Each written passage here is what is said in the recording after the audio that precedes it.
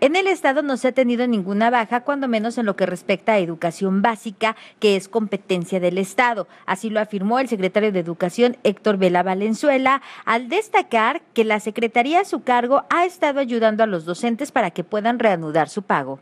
Fíjese que, bueno, tengo que decirlo con mucho cuidado.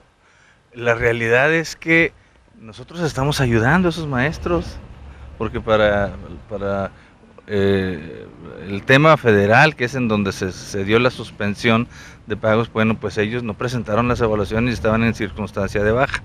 ¿Qué es lo que hemos estado haciendo nosotros? Bueno, tratar de encontrar justificaciones dentro de la ley que les permitan a ellos recuperar su trabajo.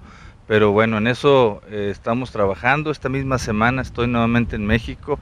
Eh, en donde ya tenemos una cantidad importante de justificaciones, todavía existen otras en las que seguimos trabajando. Hasta este momento todavía no, al menos en lo que respecta a las escuelas de educación básica que son competencia directa de nosotros. las justificaciones ya están metidas desde hace aproximadamente tres semanas, todas. Eh, sin embargo, bueno, la dictaminación es larga porque nosotros, mm, al margen de la justificación que entregamos, pues debemos documentar y debemos comprobar que efectivamente son justificaciones válidas.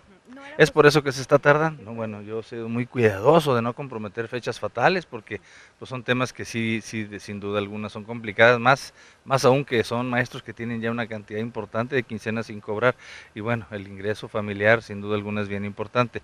En ese sentido nosotros estamos trabajando fuerte para poder lograr eh, que la inmensa mayoría de nuestros maestros eh, justifique de manera legal.